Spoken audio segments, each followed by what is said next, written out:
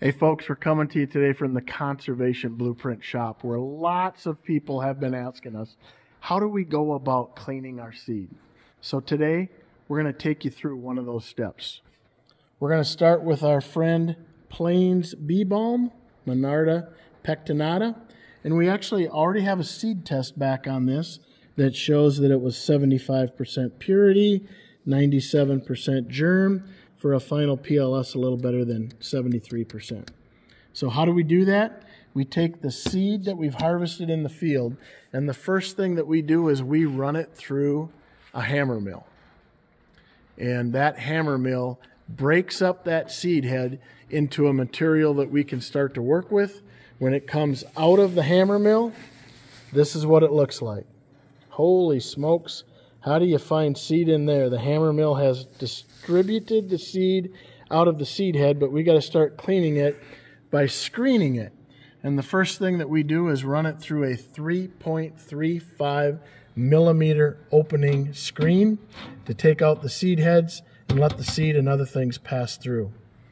This is what it looks like after it's gone through that screening process.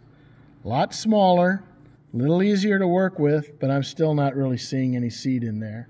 So now we run it through a really, really fine screen that is a 0.71 millimeter opening. And folks, let me tell you, that is a really, really small opening. And after we've run that through there, this is what the product looks like very light, very dusty, very small. There's all kinds of seed in here, but how do we get to just clean seed? Well, we do that with our magic piece of equipment called a fractioning aspirator. And we take our seed that has run through the last screening process and we add it here into this opening, drops down, we have a little conveyor belt, and right here is where air is entered into the system that separates all the material in this column by weight.